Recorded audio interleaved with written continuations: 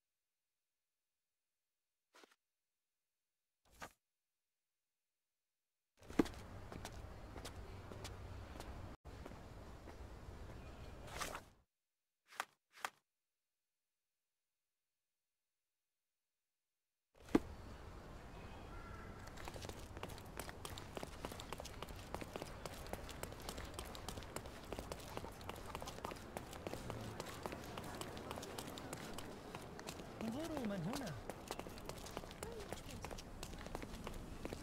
I'm having deja vu. This house seems so familiar. Greetings. Would you be here about my violin by any chance? I am. I saw from your posters that it was stolen. The name is Sherlock Holmes. Very pleased to meet you, Mr. Holmes. I'm Anthony. Anthony Jones. But uh, by the sounds of it, you haven't seen my instrument, alas. but if there's anything you can do to help locate it, I'd be most glad.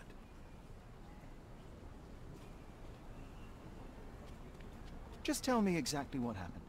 How was your violin stolen? Some needy soul broke into my home while I was out. The only thing of value they took was the instrument. Did you report the theft to the police? I did, but they dismissed it as petty theft.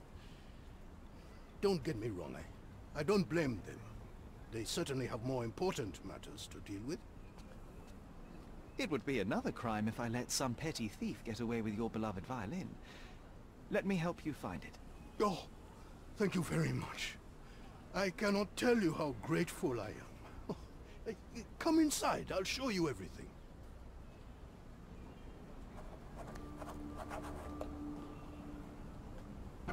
Feel free to look around.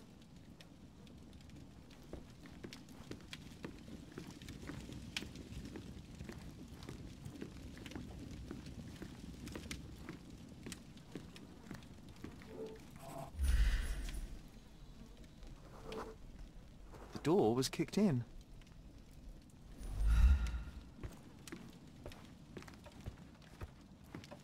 This cover is dusty. It hasn't been taken off for a long time.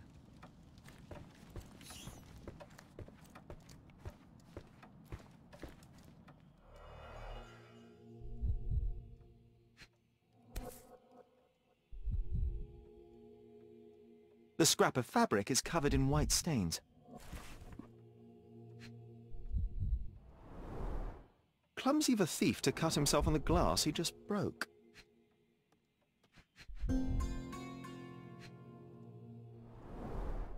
The thief left the bow. I suppose he prefers pizzicato.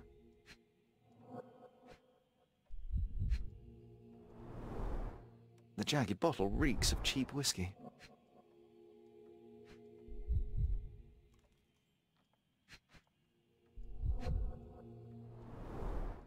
An utterly useless theft deterrent for a glass display case. Nothing was taken except for the violin. How odd.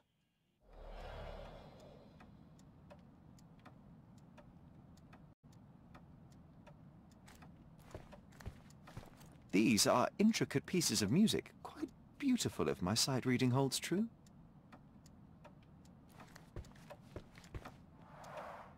I see you've received many accolades. Ah, those are from a long time ago.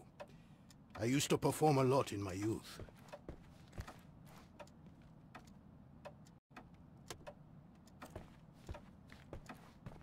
Anything else you'd like to know? Does anyone else live here? No. My dear Emily died long ago. And God never blessed us with children.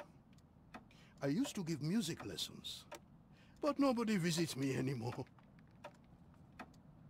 You weren't here when the burglary happened, correct? I was tending to my wife's grave at the cemetery. I was only gone a few hours and locked the door before leaving.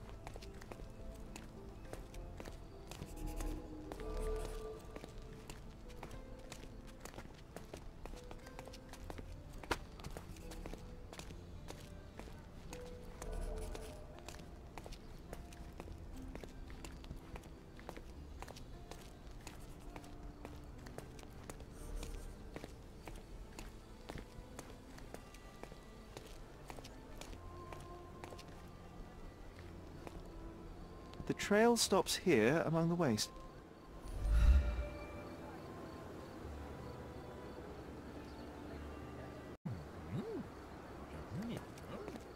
Hello, sir. Would you like some fruit? Fresh from the orchard? I'm not hungry, but I'm looking for a violin that was stolen. Any chance you saw someone with one? Uh, oh, yes, I did. It was sailors, sir. And they were very good customers. They ate lots of fruit, and said that my donkey looks like their friend. A Lieutenant... Lieutenant... Lieutenant Sean! Hmm, a lieutenant. Did you see where they went? No, sorry, sir. I was helping other buyers. Oh, and sir, the sailors also took my donkey. So I guess they weren't very good customers. They promised to return him, but they didn't come back. My father will kill me if he finds out. so I'm still waiting here for them. Do you know Anthony Jones, the musician? He lives nearby. Of course. Mr. Jones is very kind. He never barters. Funny you ask. I'm yet to crack a smile, so pray tell. Well, the first time they came by, the sailors mentioned something about music, so... I told them Mr. Jones can teach them how to play. Wait.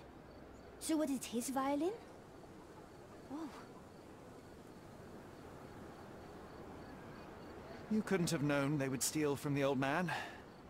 Fortunately, you made up for it with your testimony. I'll find them and your donkey soon enough. Stay put.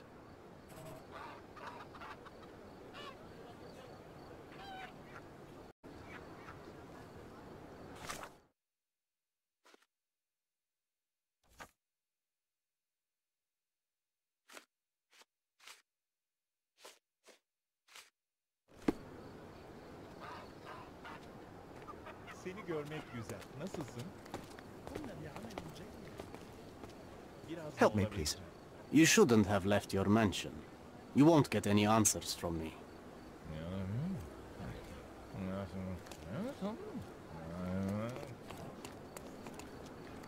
Can I ask you a question? Mr. Fancy Clothes won't find any answers here. Oh, I am bored. Call me when you find the answer.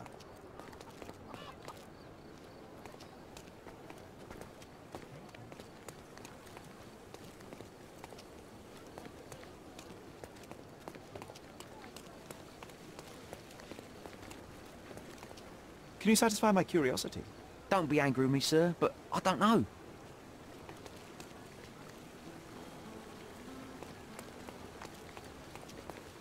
We have a large assortment and pleasant prices. The finest clothes for the finest citizens. Of course. Think it over. Take your time. Take a look. Try it on. It'll be a nice purchase. Can I ask you a question? Mr. Fancy Clothes won't find any answers here. Take a look. Try it.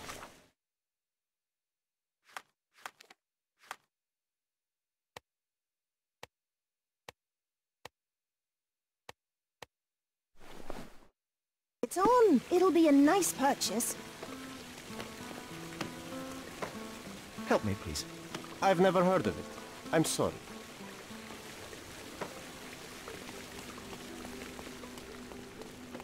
Exquisite furniture for your home. Can you satisfy my curiosity? I've never heard of it. I'm sorry. Oh, I am bored. Call me when you find the answer. My goods will brighten up your house.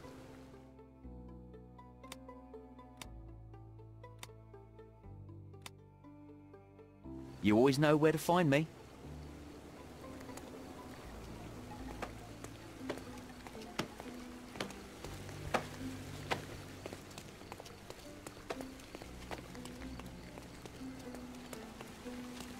Take a look.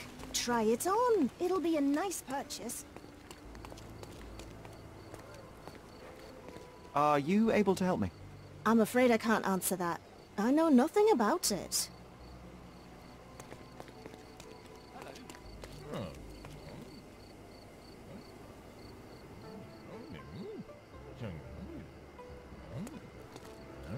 Are you able to help me? Listen, friend. I like your face. I'll tell you.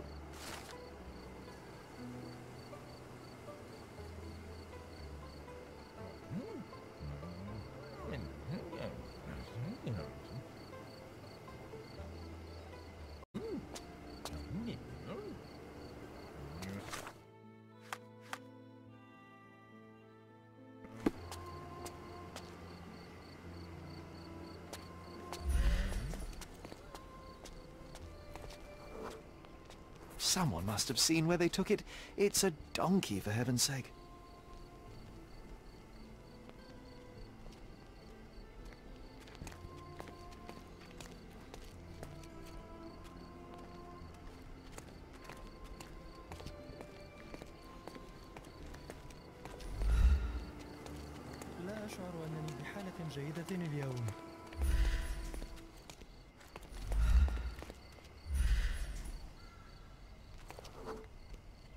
Donkey was being stubborn, but so were they.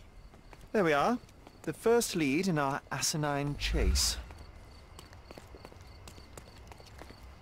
One of them lost his cap.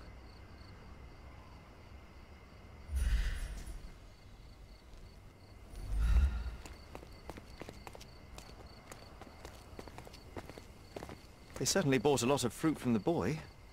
Fear of scurvy, perhaps?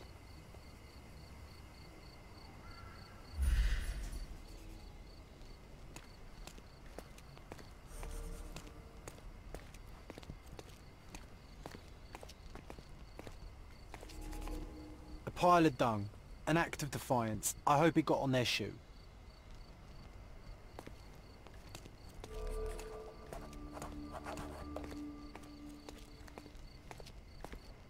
Another bottle of whiskey.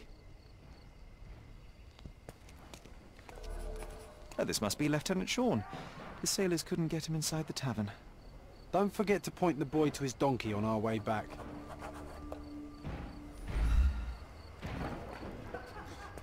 Good grief. Those drunks are wreaking havoc in there.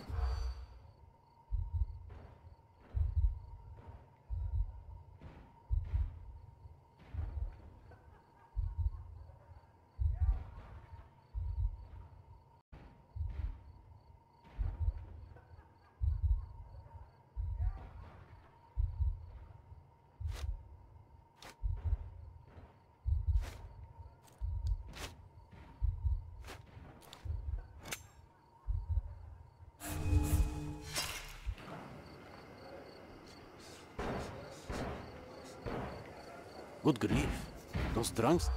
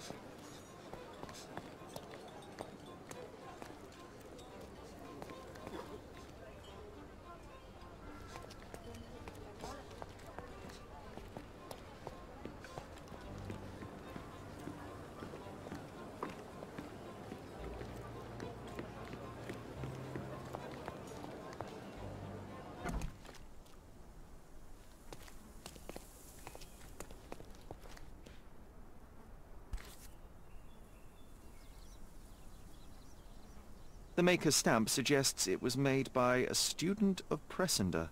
Quite a lovely instrument. And somehow, after all the mayhem, it's still in one piece.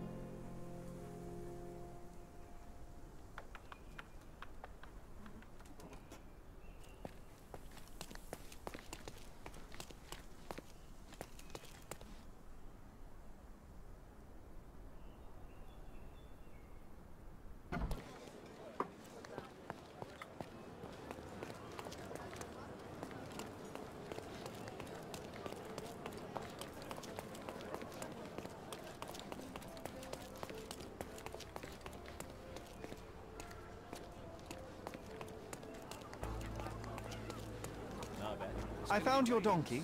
It's not far from here, outside the Wet Whiskers Tavern. You'd better go after it before someone decides to borrow it again. Thank you, sir. I'll be quick as a flash. Hey, Yusuf, please look after my cart, okay? And don't eat anything. Well, you can have a couple of grapes, but only the small ones. Well done. I look forward to the beautiful reunion.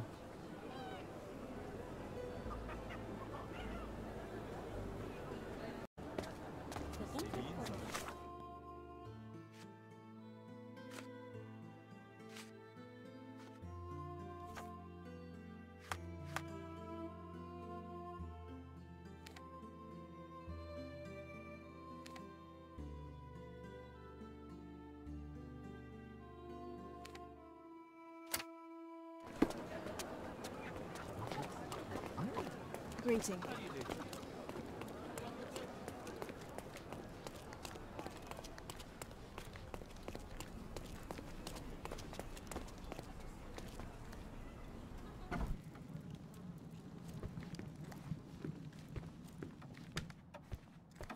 Here's your violin, Mr. Jones. It might have gained a few nicks and scratches, but considering what it's been through, it's a miracle that it's still in one piece. God bless you. I am deeply in your debt, Mr. Holmes. The scratches don't matter. They are like scars, each telling a story. It is the sound that matters. Oh, you should hear her sing. It would be my pleasure. This melody, Sherlock. Don't you recognize it?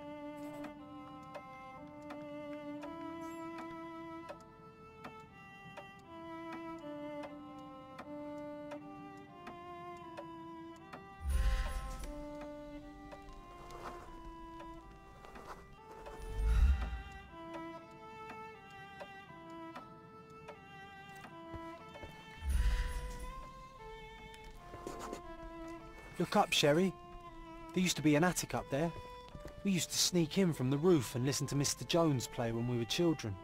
You should tell the old man the truth. I think it will mean a lot to him.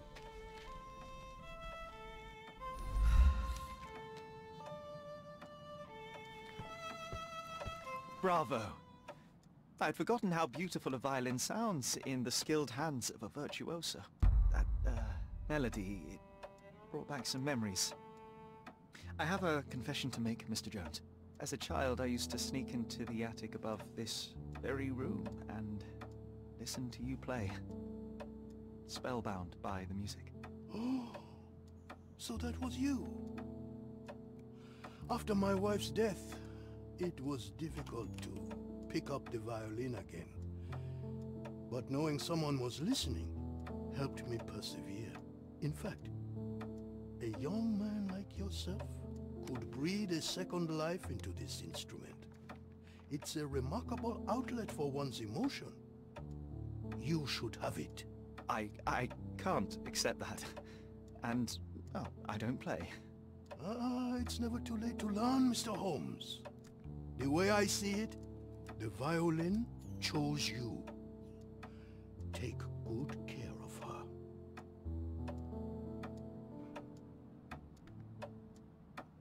Sherly, I'm really glad we helped him.